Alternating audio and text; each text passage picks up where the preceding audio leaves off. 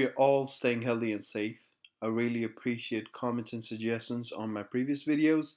Thank you all so very much for supporting my channel. If this video helps you, please give it a thumbs up and also please consider subscribing to my channel. Here, I have a table for sales summary of 2021.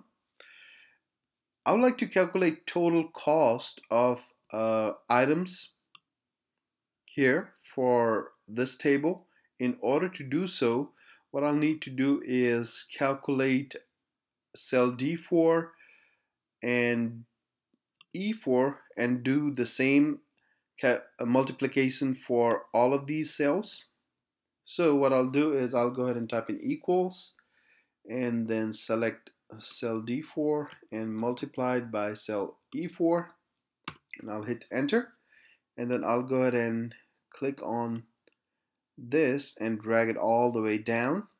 And in order to do the total sum I'll do equals sum. And then select all of these close braces and I'll hit enter. So here is my total cost for this table. In order to skip all these steps what we can use is a sum product function for that, what I'll do is I'll type in equals sum product and then open braces. So this is asking for array 1.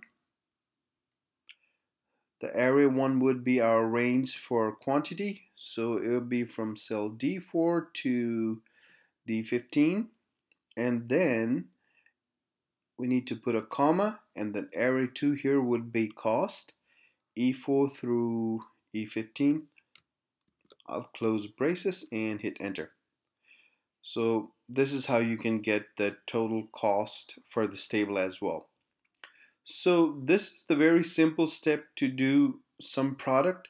However uh, there sum product function um, in sum product function, we can also use conditions uh, such as AND or OR. So for example, what uh, we can do here is we can select the total sum product for only supplier A and then B for month January and so on. So what we can do here is, in order to do so, what we can do here is, I'll go ahead and type an equal and then I'll type sum product and then so for array 1 I'll do select uh, D4 through D15 and um, what I'll do is I'll type asterisk instead of comma. Um, also why I, am doing this in a second because um, we'll be using and or or uh, conditions on this one too. So on this one. So and then I'll select this cost. And then so here if uh, instead of doing comma I'm using multiply sign. And if I hit enter I'll still get the same value. So now I'll go ahead and edit the formula. So for example I would like to only select supplier A in order to do so what I will do is I'll put asterisk again and then select supplier uh, range which would be from B4 through B15 and then I'll type in equals and then since I'll be only selecting supplier A what I'll do is I'll type in A and then I'll go and hit enter. So here, what I'll get is an error. So in order to remove the error, what I'll do is put these, uh, this inside braces and then hit enter. So here I can get total uh, cost for supplier A. In order to check that, what we can do is I'll go ahead and select these three you can see that here at the bottom um, the value is 383 zero zero. So um, also what we can do is um, so I have only selected supplier A here. Now in order to select supplier A and B what we can do is put in plus sign which is basically saying uh, supplier A or supplier B. Um, and I'll open braces again and then select the range equals B and then close braces. We need to make sure that we close these two inside another braces because if we leave this like this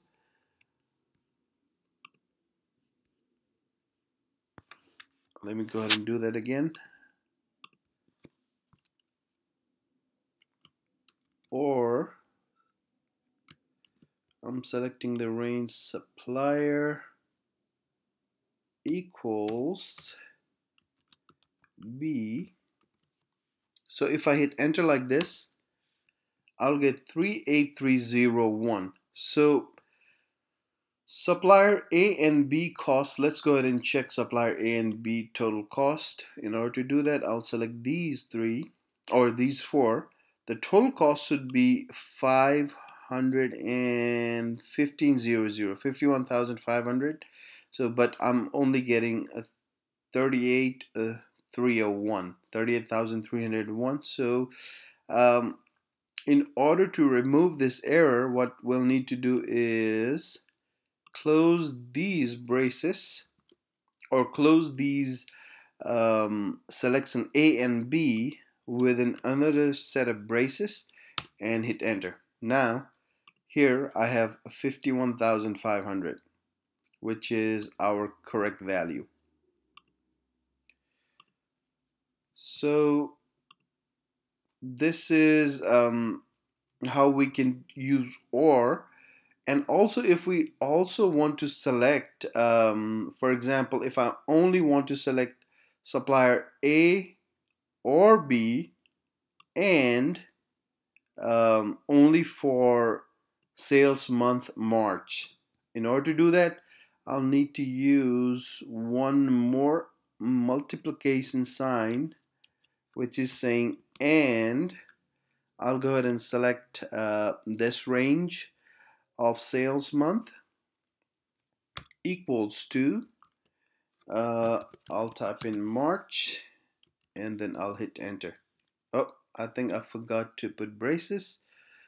So what I'll do is close these within braces and then hit enter. So 28400, let's go ahead and check the values for these two cells, 28400. So this is correct. So this is how you can use a sum product function um, with and and or conditions. Hope this video helps you all. If this video helps you, please give it a thumbs up and also please consider subscribing to my channel. Thank you all so very much. Y'all have a good day. Bye-bye.